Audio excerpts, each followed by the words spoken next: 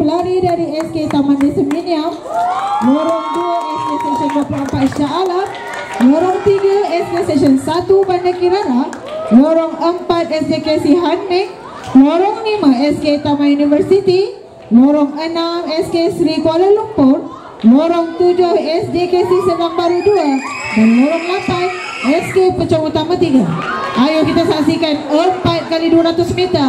P5 peringkat akhir